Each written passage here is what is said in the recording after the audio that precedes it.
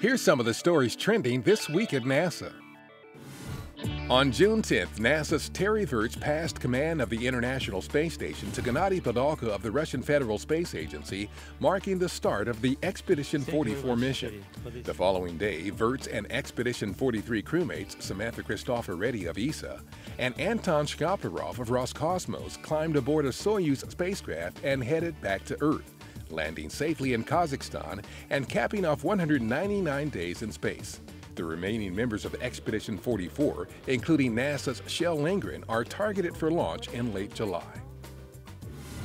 NASA's chief scientist Ellen Stofan discussed newly released high-definition climate assessment data during the Climate Services for Resilient Development event hosted by the White House.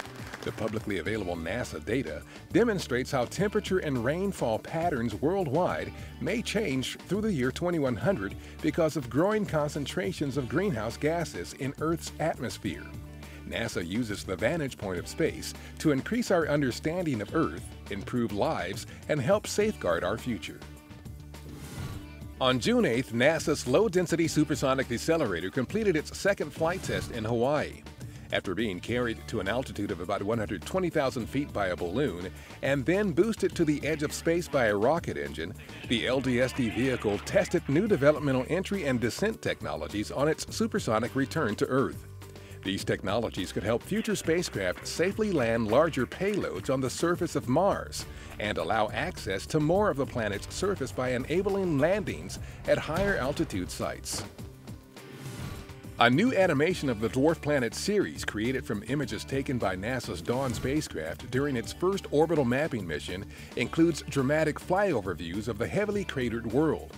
About 80 overlapping images were used to provide the three-dimensional detail in the animation. The vertical dimension has been exaggerated by a factor of two and a star field has been added in the background. The 175-ton bridge crane inside the vehicle assembly building at Kennedy Space Center was lifted back to its original position after being upgraded to support the lifting needs for future exploration vehicles on the journey to Mars, including NASA's Space Launch System rocket and Orion spacecraft.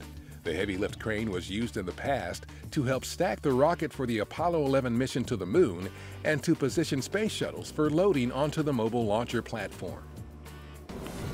Astronauts report it feels good. T minus 25 seconds. NASA commentator John W. Jack King, the voice of launch control for virtually every human mission from Gemini 4 to Apollo 15, died on June 11th. His July 16, 1969 commentary of the Apollo 11 launch was among its most memorable as millions around the world watched the liftoff of the historic mission. Liftoff. We have a liftoff. 32 minutes past the hour. Liftoff on Apollo 11. King was 84 years old. And that's what's up this week at NASA. For more on these and other stories, follow us on social media and visit www.nasa.gov/twan.